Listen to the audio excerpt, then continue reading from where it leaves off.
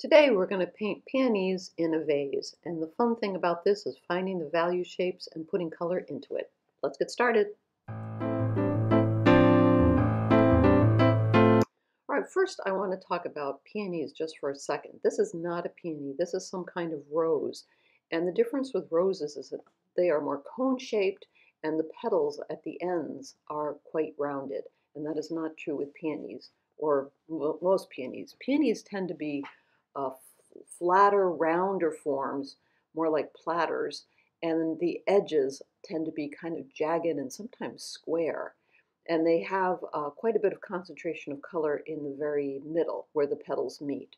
So one thing about painting peonies in general is just to have some um, just some observational skills about the difference between the different flower forms. And so peonies are quite different from roses, although there are some similarities. So this year I wanted to do something different. I do paint peonies every year, but this year I wanted to do something different uh, because what you just saw was some peonies up really, really close.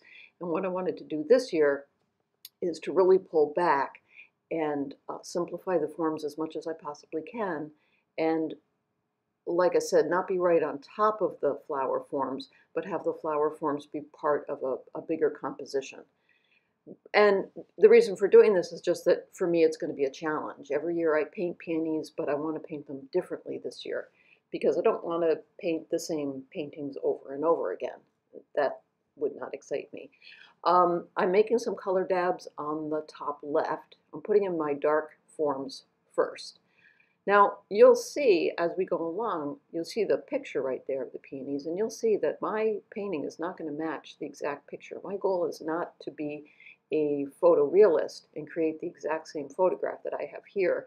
I want to simplify, use as few strokes as possible, find my darks, my mediums, and my lights, turn them into shapes, and then when the shapes are near or close to each other, they, in, in a sense, will make the forms. So I'm still working on making the darks here, and I forgot to make color dabs as I went along. Usually in these demos, I will make color dabs. My reason for the color dabs is that I do usually separate my color dabs into darks, mediums, and lights. So now I'm leaving the darks, and now I'm going into what are going to be my midtones, or my, medi my mediums, as I call them.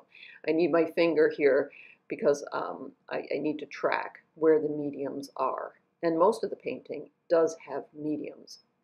And um, so I'm using a variety of colors to do this. You know, mixing one color just isn't going to uh, get the effect that I want. So I have to mix several colors that are mediums and place them next to each other. And that will start to make the forms. The important thing here for me is to, no matter what, no, no matter what starts to happen in my head in terms of thinking, is just to keep saying what shape, what value, what shape, what value, meaning value meaning how dark or how light something is. Now I needed to take care of the whites of the flowers in some way, and so I used a neutral for that, kind of a gray. And like I said, my goal is to define forms, but not to um, not to get fussy. This is um, Arches paper, cold press, and the size of it is about um, an 8 by 8 inch eight by eight inch square? Yeah, something like that. That sounds about right. Um, now it's time for the background. The background is going to make the foreground pop. Now what was important here was to have a light background. I could have done a dark background. Can you imagine, for example, a really dark purple behind that? That would have worked too, but I would have lost, lost a bit of the softness that I have in the overall composition one of the things about painting flowers, at least for me, is that they tend to be soft forms. And I, I, want them to remain soft. I want to have lost and found edges.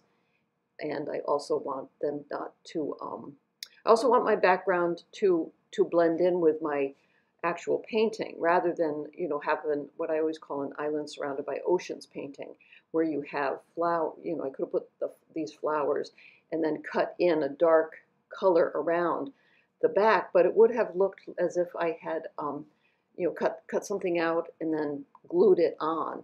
I'm always trying to integrate things if I can, and, and always trying to find uh, color within color.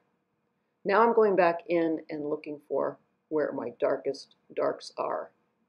and reinforcing that. There aren't many really dark darks in those flowers. There are a few, and I have to be careful about where I put them.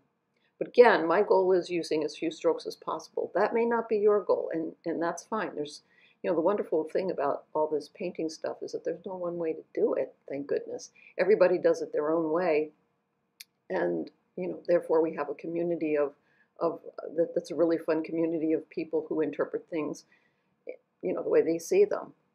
The other thing that happens, I think, with painting, and maybe this has happened to you, is you think you want to paint things a certain way. I always have something in my mind of how I want to paint it. There's always the painting in your mind, and then the painting that you actually do. Oh my goodness, we could talk forever about that. You know, you can't hide from your own style, just like you can't hide from your signature when you when you write a check or something. Your signature is your signature. And so I had an idea of where I was going with this, but of course, nothing ever turns out exactly the way I had it in my head, and that's because it's going through the filter of uh, my Jo Mackenzie brain. So we're getting near the end of the painting, and I want you to remember to keep the whites of your paper white, which I left the table white here. So keep the whites of your paper white, your paint's wet, mask for value, meaning find your shapes, and mix for color. Use your color to go into those shapes. So mask for value, mix for color, and I'll see you next time. Okay, bye-bye.